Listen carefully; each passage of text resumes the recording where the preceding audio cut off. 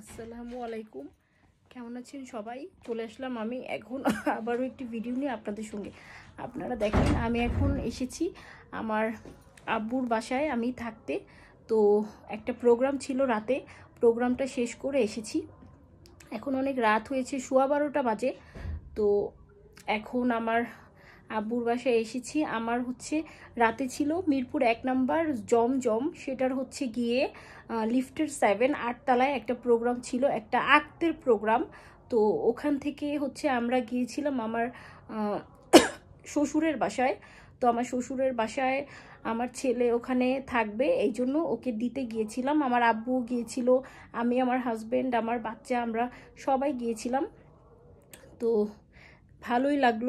তো ওখানে আমার বাচ্চার দাদার বাড়ি, ওখানে হচ্ছে ওর কাজিনরা সবাই একসাথে খেলা করছে, একসঙ্গে খেলাধুলা।